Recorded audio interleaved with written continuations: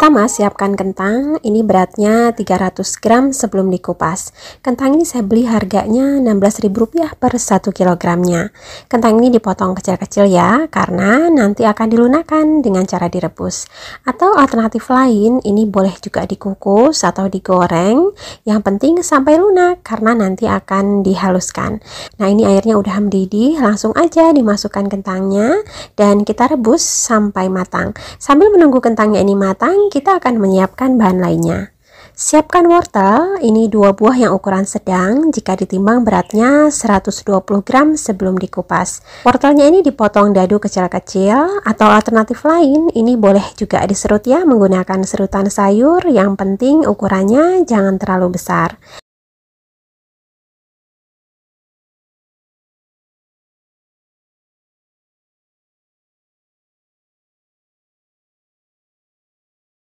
Siapkan juga daun bawang 3 batang. Ini daun bawangnya sudah dicuci, kemudian diiris tipis.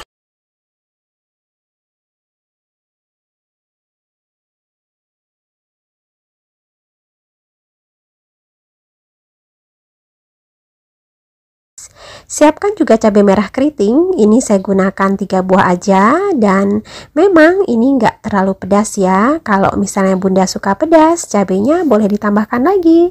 Atau boleh juga dicampur dengan cabai rawit merah biar pedasnya lebih mantap.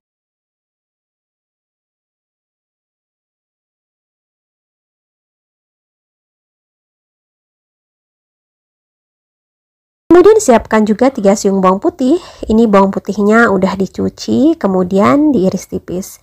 Setelah diiris tipis, ini dicincang halus ya.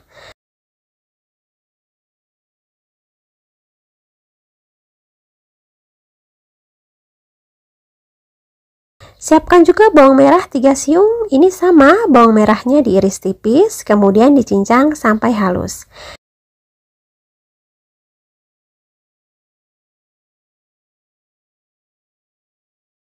Nah, ini kentang yang tadi udah direbus, ini udah mateng dan sudah lunak. Kemudian ini dihaluskan. Di sini saya menghaluskannya menggunakan saringan seperti ini aja karena masih panas ya, jadi masih lunak banget. Atau boleh juga menggunakan chopper biar lebih cepat dan mudah. Nah, seperti ini kentangnya udah halus. Ini kentangnya bisa disisihkan terlebih dahulu. Kemudian siapkan minyak secukupnya dalam wajan untuk menumis dan jika minyaknya udah panas, kemudian masukkan bawang putih yang sudah dicincang halus. Juga masukkan bawang merah serta cabai merah keriting yang sudah diiris tipis.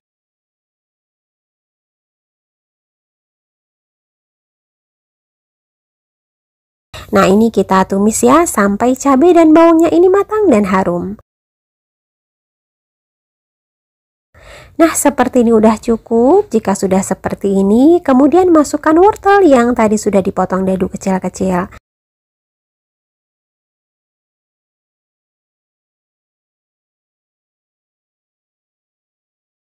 Tambahkan sedikit air. Ini airnya hanya untuk melunakkan wortelnya aja. Ini kita masak sampai wortelnya ini matang dan airnya menyusut. Jadi ini tumisannya nggak boleh basah ya bun ya, harus kering agar nanti mudah saat dijadikan sebagai isian. Nah, jika sudah seperti ini, ini udah kering ya. Kemudian masukkan daun bawang yang tadi sudah diiris tipis. Nah, ini kita masak sampai daun bawangnya ini layu dan matang. Nah, seperti ini udah cukup ya. Jika sudah seperti ini, kemudian masukkan seasoningnya. Ini saya gunakan 1 sendok teh garam, 1 sendok teh kaldu bubuk, dan seperempat sendok teh lada bubuk. Nah, ini diaduk dulu sampai tercampur rata. Kemudian matikan api kompornya dan masukkan kentang yang tadi sudah direbus dan dilunakkan. Nah, ini kita aduk-aduk ya sampai tercampur rata. Jika sudah rata, ini sudah siap untuk dijadikan sebagai isian. Tapi sebelumnya kita siapkan dulu roti tawar.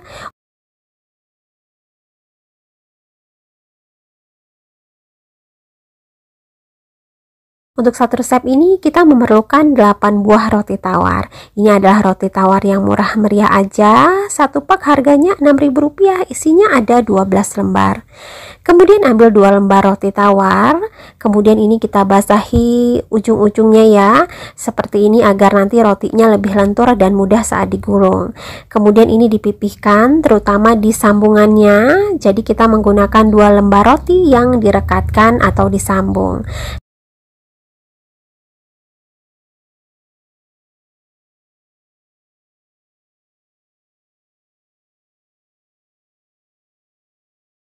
Seperti ini udah cukup. Kemudian letakkan di atasnya adonan kentang sayur yang tadi sudah kita siapkan.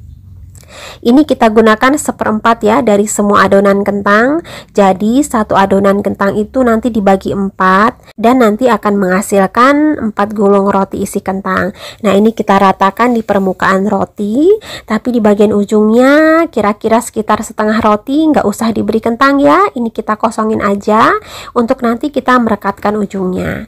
Jika sudah rata, kemudian ini digulung seperti ini, menggulungnya sampai padat ya bun ya.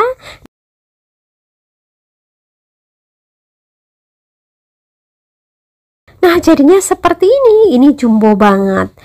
Bagaimana mudah ya bun ya cara membuatnya? Ambil dua lembar roti tawar, kemudian ini bagian ujung-ujungnya diberi air, kemudian ini saling direkatkan rotinya dengan cara ditekan menggunakan rolling pin. Dan roti yang bagian yang lain juga sama kita pipihkan biar lebih padat dan gak mudah sobek saat digulung.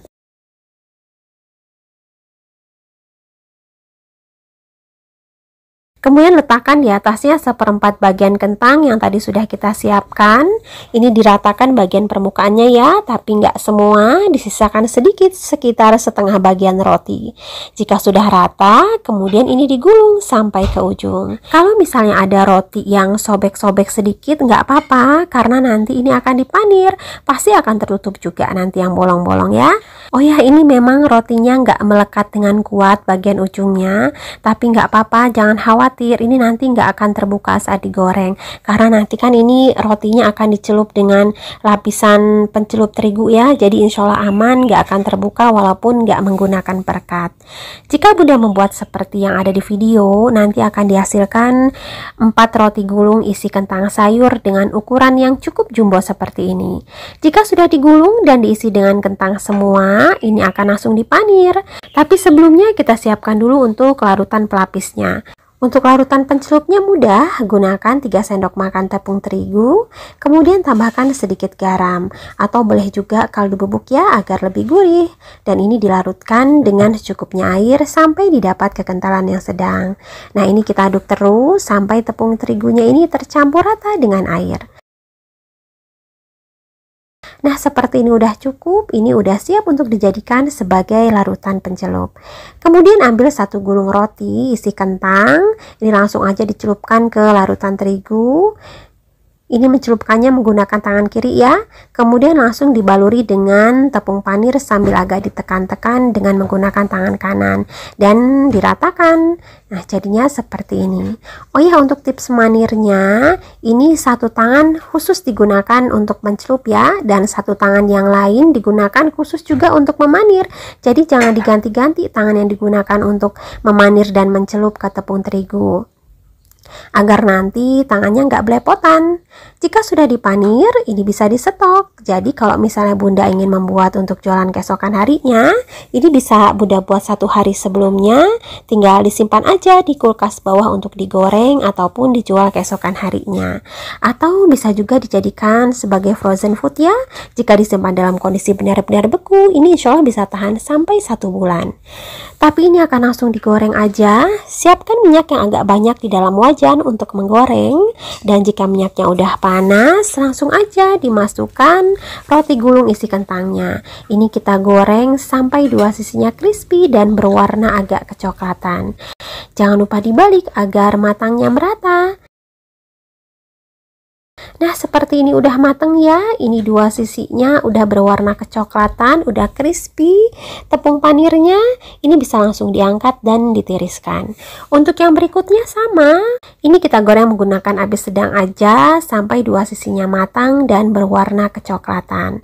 Nah, ini yang tadi barusan digoreng. Hmm, ini jumbo banget, ukurannya cukup besar dan agar lebih ramah di kantong jika untuk jualan, ini akan saya potong-potong menjadi ukuran yang lebih tipis.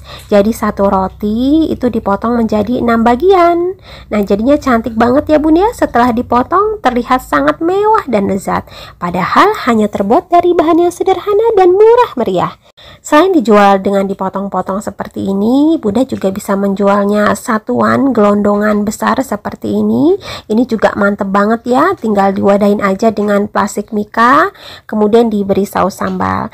Atau yang sudah dipotong-potong seperti ini juga cocok banget untuk dititip-titip di kantin. Ini bisa Bunda kemas menggunakan plastik mika, ini bisa diisi tiga buah boleh juga ditambahkan saus sambal saset sebagai pelengkap, serta label stiker thank you agar terlihat lebih menarik. Dan ini juga cocok banget untuk dijadikan sebagai snack box. Ini bisa dialas dulu dengan kap kertas, kemudian dikemas menggunakan plastik OPP. Ini yang ukuran 8 x 8 cm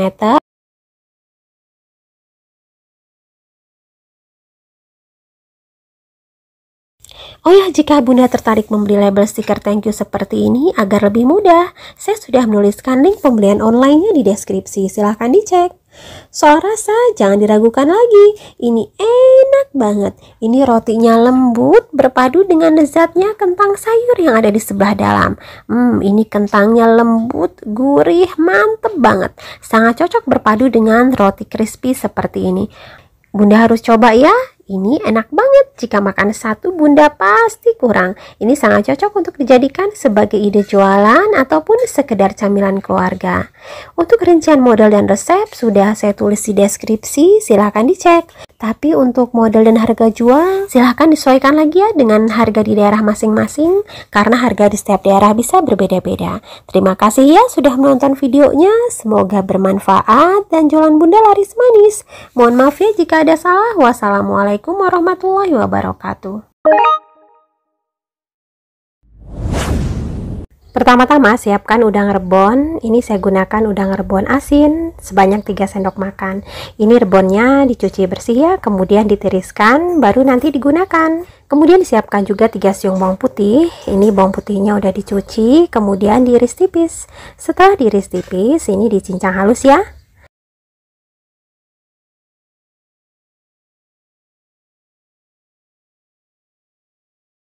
Kemudian siapkan bengkoang, ini beratnya sekitar 500 gram sebelum dikupas.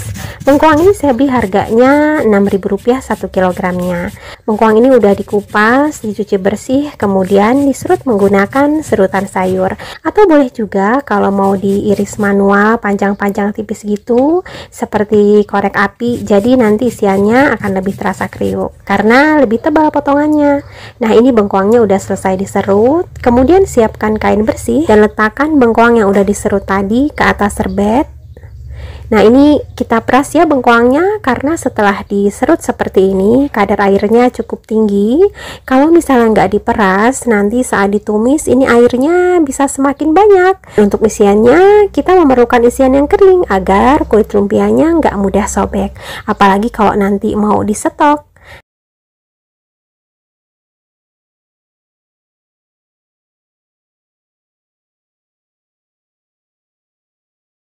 Nah ini airnya kelihatan banyak banget ya, hampir setengah mangkuk. Dengan diperas seperti ini akan cukup mengurangi kadar air nanti saat ditumis. Nah jika udah selesai diperas semua bengkoangnya, sekarang kita akan lanjut menumis. Siapkan minyak secukupnya dalam wajan untuk menumis dan jika minyaknya udah panas, kemudian masukkan bawang putih yang tadi udah dicincang halus.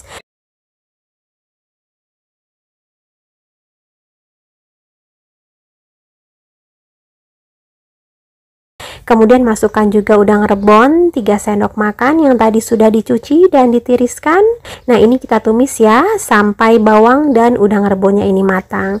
Ingat, ini menumis udang rebonnya harus sampai benar-benar matang. Karena kalau kurang matang, ini udang rebonnya kadang masih terasa amis ya. Tapi kalau Bunda memasaknya sampai benar-benar matang, ini aroma udangnya sedap banget. Oh ya, masukkan juga seasoningnya. Ini ada garam 1 sendok teh, kaldu bubuk 1 sendok teh, lada bubuk seperempat sendok teh, dan gula pasir setengah sendok teh. Nah ini kita aduk dulu sampai tercampur rata. Nah, seperti ini udah cukup ya. Jika sudah seperti ini, kemudian masukkan bengkoang yang tadi sudah diserut dan diperas airnya. Nah ini kita aduk sampai semua bumbu tercampur rata dengan bengkoangnya. Ini kita masak sebentar aja, nggak usah lama-lama. Karena jika dimasak terlalu lama, ini nanti bengkoangnya akan semakin mengeluarkan air. Ini kita masak sampai bengkoangnya layu aja.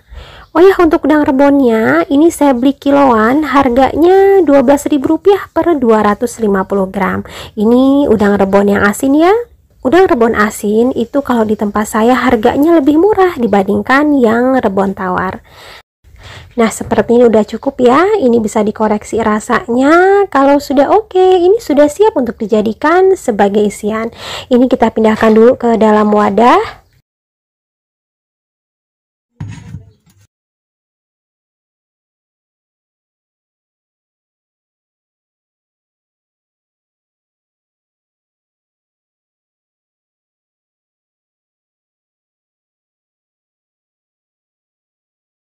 Oh ya, sebelumnya kita siapkan dulu untuk kulit lumpianya. Untuk kulit lumpianya, ini saya beli yang udah jadi, satu bungkus seperti ini harganya Rp10.000. Isinya sekitar 45 lembar. Dan ini adalah kulit lumpia yang diameter besar. Untuk satu resep ini kita memerlukan sekitar 13 lembar aja. Oh ya, siapkan juga untuk perekatnya. Untuk perekatnya mudah, hanya gunakan satu sendok makan tepung terigu yang dilarutkan dengan secukupnya air sampai didapat kekentalan yang sedang. Nah, ini kita aduk terus ya, agar tepung terigunya ini nggak banyak yang menggumpal. Nah, seperti ini udah cukup, ini sudah siap untuk dijadikan sebagai larutan perekat. Kemudian ambil satu lembar kulit lumpia dan letakkan di atasnya sekitar satu sendok makan tumisan bengkoang rebonnya.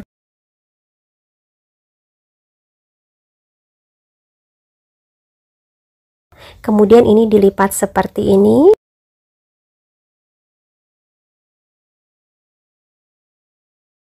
Jangan lupa ujungnya diberi larutan terigu sebagai perekat.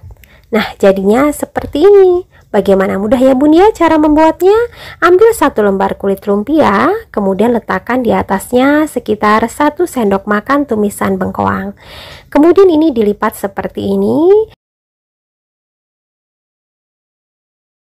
Dan bagian ujungnya diberi larutan terigu sebagai perekat. Jika Bunda membuat seperti yang ada di video, maka satu resep ini bisa menghasilkan 13 lumpia isi bengkoang rebon seperti ini. Lakukan hal yang sama sampai selesai. Nah, jika sudah diisi semua, ini bisa disetok karena ini isiannya nggak terlalu basah ya jadi insya Allah aman ke kulit lumpianya. Kulit lumpianya nggak akan mudah sobek jika kering seperti ini. Ini tinggal bunda masukkan aja ke dalam wadah yang tertutup rapat kemudian disimpan di kulkas bawah untuk dijual ataupun digoreng keesokan harinya. Atau ini juga bisa dijadikan sebagai frozen food. Jika disimpan dalam kondisi benar-benar beku ini insya Allah bisa tahan sampai satu bulan tapi ini akan langsung digoreng aja Siapkan minyak secukupnya dalam wajan untuk menggoreng dan jika minyaknya udah panas, langsung dimasukkan lumpia isi bengkoang rebonnya. Nah, ini kita goreng sampai dua sisinya berwarna agak kecoklatan dan kulit lumpianya kriuk crispy. Jangan lupa dibalik agar matangnya merata. Ini kita goreng menggunakan api sedang aja ya agar garingnya sampai ke dalam. Jadi nanti camilan kita lebih awet kriuknya, apalagi jika untuk jualan. Nah, seperti ini udah matang. Ini dua sisinya udah berwarna kecoklatan, udah kriuk crispy. Ini bisa langsung diangkat dan ditiriskan. Untuk yang berikutnya sama, ini kita goreng menggunakan api sedang sampai dua sisinya berwarna kecoklatan. Nah, ini yang barusan kita goreng tadi. Hmm, ini kelihatan cakep banget, kriuk crispy. Dan dari menggorengnya tadi aja, udah tercium wangi udang rebon yang sedap ke mana-mana. Ini akan lebih wangi dan sedap lagi jika ditabur dengan irisan daun bawang seperti ini. Selain dijual satuan, ini juga bisa bunda kemas menggunakan plastik mika. Ini saya gunakan yang ukuran 7 x 14 cm. Ini bisa diisi 3 buah, boleh juga ditambahkan saus sambal saset sebagai pelengkap. serta diberi label stiker thank you agar terlihat lebih menarik. Atau ini juga cocok banget untuk dijadikan sebagai snack box. Ini bisa dikemas menggunakan plastik OPP. Ini plastik OPP yang ukuran 10 x 10 cm yang sudah saya gunting menjadi lembaran biar pas dengan lumpianya. Oh ya, jika Bunda tertarik membeli label stiker thank you seperti ini agar lebih mudah, saya sudah menuliskan link pembelian online-nya di deskripsi. Silahkan dicek. Soal rasa, jangan diragukan lagi. Ini enak banget. Ini jika dimakan hangat-hangat, kulit lumpianya kriuk crispy, berpadu dengan lezatnya tumisan bengkuang rebon yang ada di sebelah dalam. Ini bengkuang rebonnya gurih banget, enak, sedap, rasanya unik khas sekali. Bunda harus coba ya, jika makan satu bunda pasti kurang. Ini sangat cocok untuk dijadikan sebagai ide jualan ataupun sekedar camilan keluarga. Untuk rincian resep dan modal sudah saya tulis di deskripsi, silahkan dicek. Tapi untuk model dan harga jual silahkan disesuaikan lagi ya dengan daerah masing-masing karena harga di setiap daerah bisa berbeda-beda. Terima kasih ya sudah menonton videonya, semoga bermanfaat dan jualan bunda laris manis. Mohon maaf ya jika jika ada salah, wassalamualaikum warahmatullahi wabarakatuh. Pertama-tama siapkan satu buah wortel, ini yang ukuran sedang aja. Wortelnya ini sudah dikupas, dicuci, kemudian dipotong dadu kecil-kecil. Atau kalau mau diserut menggunakan serutan sayur juga nggak apa-apa ya. Nah kalau sudah ini wortelnya bisa disisihkan terlebih dahulu.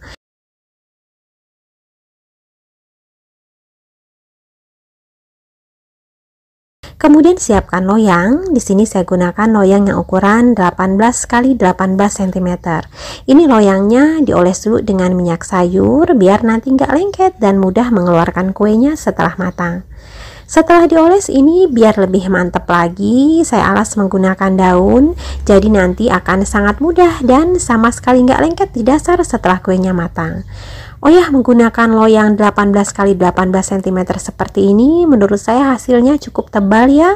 Kalau misalnya Bunda membuat kuenya ini nanti digoreng menggunakan pelapis seperti tepung panir, boleh menggunakan loyang yang agak besar ya, misalnya 20 kali 20 cm karena kue setelah dipanir itu biasanya akan menjadi lebih tebal. Tapi kalau nanti nggak digoreng kuenya hanya dikukus sebaiknya gunakan yang 18 kali 18 seperti ini agar kuenya tetap kokoh.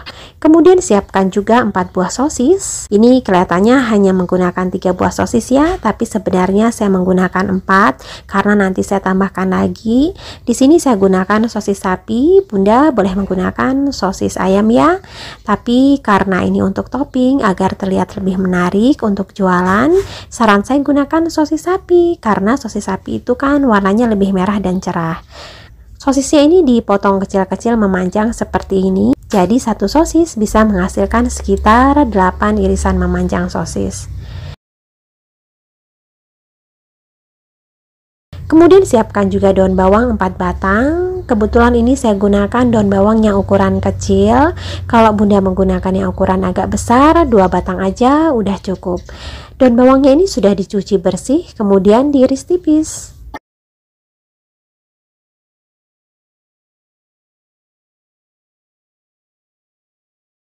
Kemudian siapkan wadah mangkuk dan masukkan tepung terigu 3 sendok makan.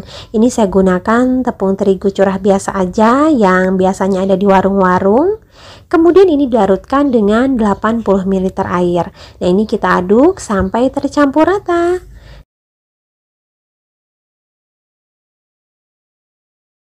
Jika sudah rata, kemudian tambahkan telur 3 butir.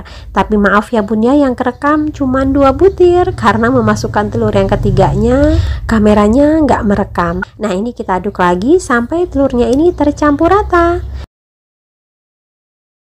Kemudian masukkan juga seasoningnya. Ini saya gunakan garam 1 sendok teh datar, kaldu bubuk 1 sendok teh, lada bubuk seperempat sendok teh, dan bawang putih bubuk setengah sendok teh.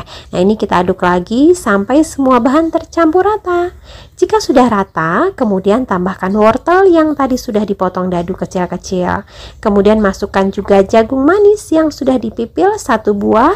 Ini jagungnya saya pipil menggunakan pisau aja diiris-iris gitu itu.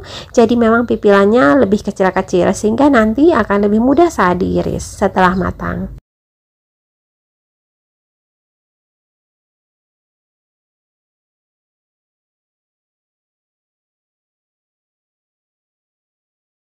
Nah ini kita aduk lagi sampai tercampur rata dan jika sudah rata ini sudah siap untuk kita masukkan ke dalam loyang yang tadi sudah disiapkan. Ini kita masukkan aja semuanya.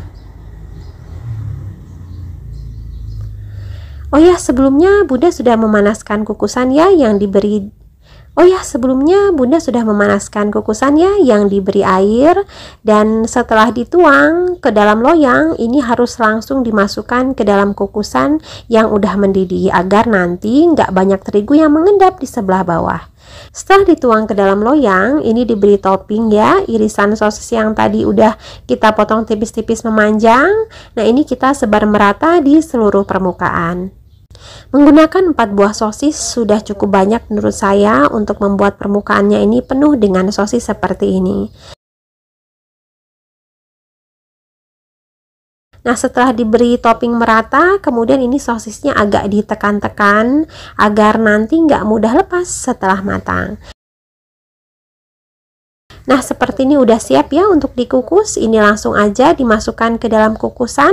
Ini kita kukus sekitar 20 menitan atau sampai kuenya ini matang. Nah, seperti ini udah mateng, ini udah sekitar 20 menitan, ini bisa langsung aja diangkat. Nah, ini kuenya akan didinginkan terlebih dahulu sebelum dikeluarkan dari loyang, agar teksturnya lebih kokoh. Karena kalau masih panas, ini kuenya sangat lembut. Nah, ini udah dingin ya, ini akan langsung dikeluarkan aja. Ini kita seset dulu bagian pinggirnya agar nanti lebih mudah lepas saat mengeluarkannya.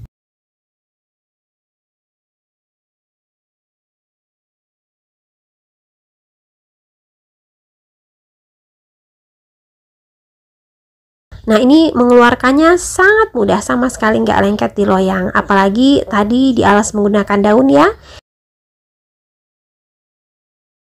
Kemudian ini dipotong menjadi 9 bagian berbentuk persegi yang sama besar Kemudian dipotong lagi membentuk segitiga. Jadi nanti akan didapat 18 potong kue jagung telur segitiga seperti ini. Dan ini enggak saya goreng lagi ya karena ini dimakan seperti ini aja udah enak banget dan pastinya lebih sehat ya nggak pakai goreng-gorengan.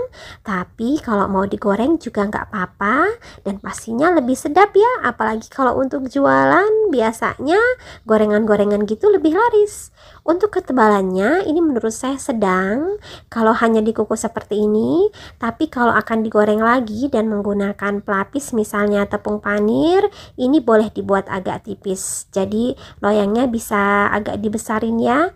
Jadi nanti hasilnya bisa lebih banyak dan lebih hemat. Jika sudah dikukus seperti ini, ini bisa disetok. Apalagi kalau mau dijadikan frozen food, ini bisa banget. Jika disimpan dalam kondisi benar-benar beku, ini insya Allah bisa tahan sampai satu bulan. Selain dijual satuan, ini cocok banget untuk dititip di kantin. Ini tinggal bunda kemas aja menggunakan plastik mika. Di sini saya gunakan yang ukuran 7 x 14 cm dan ini bisa diisi 4 buah. Boleh juga ditambahkan saus sambal saset sebagai pelengkap serta tambahan stiker thank you agar terlihat lebih menarik. Atau ini juga cocok banget untuk dijadikan sebagai snack box. Ini dikemas menggunakan plastik OPP. Di sini saya gunakan yang ukuran 10 kali 10 cm. Ini sudah saya kunting menjadi lembaran biar lebih pas. Oh ya, jika Bunda tertarik membeli label stiker thank you seperti ini agar lebih mudah, saya sudah menuliskan link pembelian online-nya di deskripsi. Silahkan dicek. Soal rasa jangan diragukan lagi. Ini enak banget. Ini teksturnya lembut, rasanya gurih, ada manis-manisnya dari jagung manisnya. Hmm, ini enak banget. Berpadu dengan lezatnya irisan sosis yang ada di sebelah atas. Hmm, ini camilan yang sedap mantep. Jika makan satu, bunda pasti kurang. Ini sangat recommended untuk dijadikan sebagai ide jualan ataupun sekedar camilan keluarga. Untuk rincian resep dan modal sudah saya tulis di deskripsi ya, silahkan dicek. Tapi untuk modal serta harga jual, silahkan disesuaikan lagi untuk daerah masing-masing. Karena harga di setiap daerah bisa berbeda-beda. Terima kasih ya sudah menonton videonya, semoga bermanfaat. Dan jualan bunda laris manis. Mohon maaf ya jika ada salah. Wassalamualaikum warahmatullahi wabarakatuh. Pertama-tama siapkan 10 buah tahu putih. Ini tahunya saya beli harganya Rp500 satu buahnya. Tahunya ini dipotong dadu kecil-kecil dan nanti tahunya ini akan digoreng terlebih dahulu. Karena ini jenis tahu Bandung yang lembut dan berair ya. Kalau nggak digoreng terlebih dahulu, ini nanti akan hancur saat nanti ditumis. Jadi ini digoreng terlebih dahulu agar teksturnya lebih kokoh dan garing. Nah ini udah selesai dipotong kecil-kecil dan ini minyaknya udah panas. Langsung dimasukkan aja tahunya dan ini kita goreng sampai agak berkulit. Ini sambil dibolak-balik ya agar matangnya merata. Nah seperti ini udah matang, ini bisa langsung diangkat dan lanjutkan menggoreng tahu yang berikutnya sampai selesai.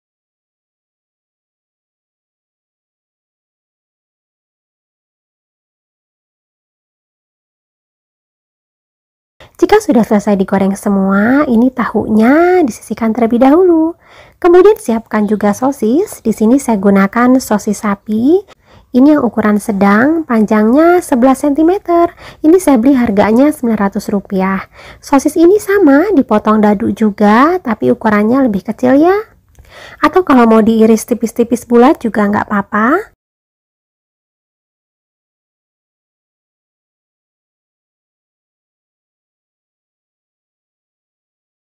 Kemudian siapkan satu buah wortel, ini yang ukuran sedang.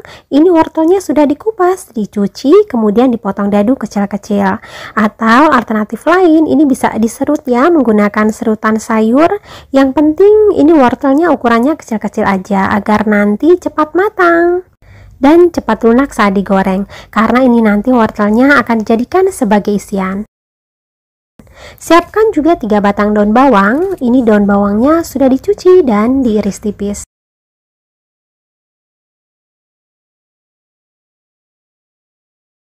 Kemudian siapkan juga bawang merah. Ini bawang yang saya gunakan ukurannya kecil-kecil ya. Kalau Bunda menggunakannya ukuran sedang, gunakan 4 siung aja.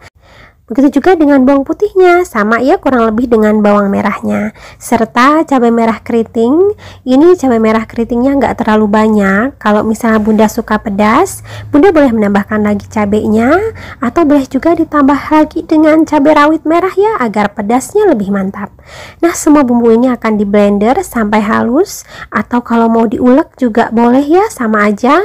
Tambahkan sedikit air untuk memblender. Nah, ini kita blender dulu sampai halus.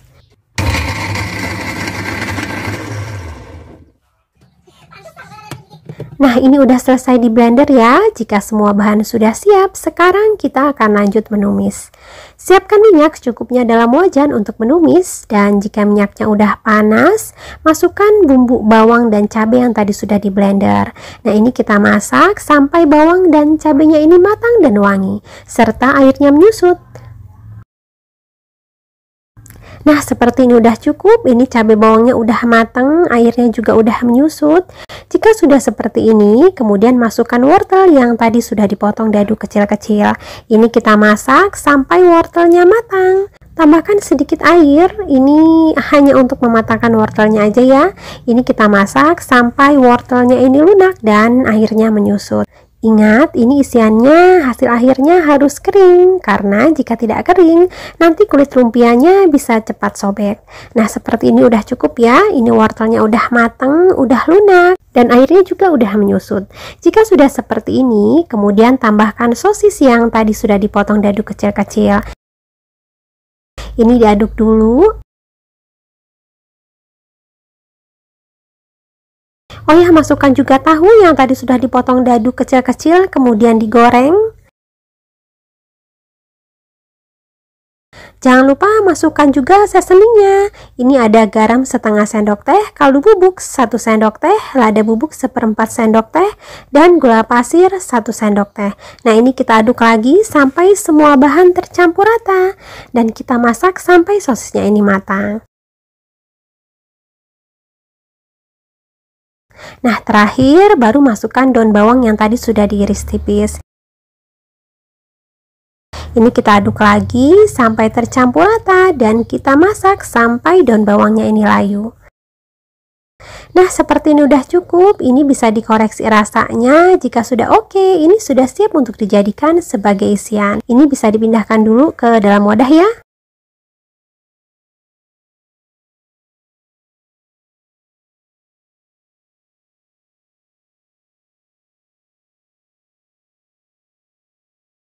Sekarang kita akan menyiapkan kulit lumpianya.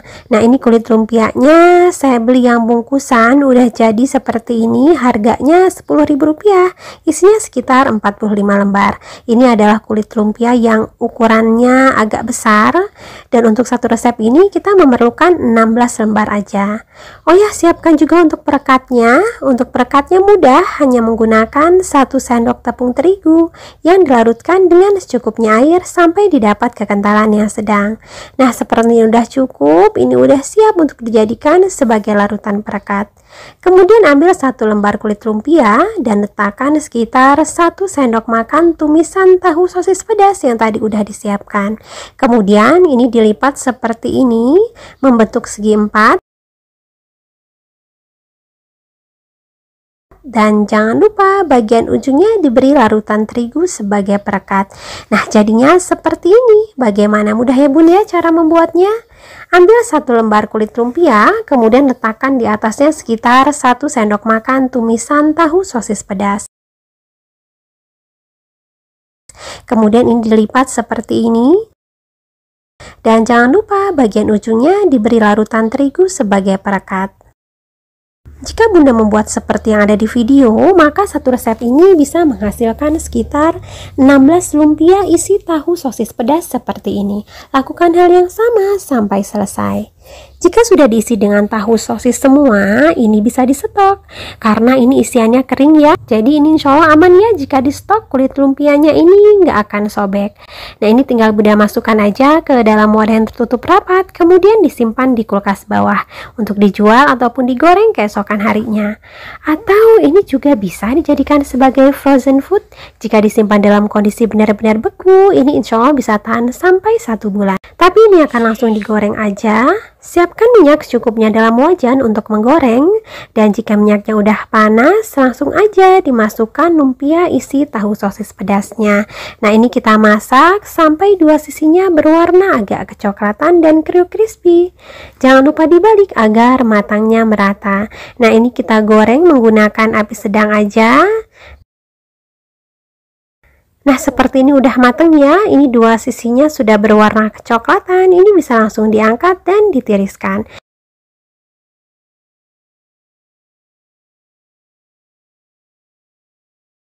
Untuk yang berikutnya sama, ini digoreng lagi menggunakan api sedang aja sampai dua sisinya berwarna agak kecoklatan. Nah, ini yang barusan tadi kita goreng. Hmm, ini kelihatan crispy banget dan terlihat sangat lezat.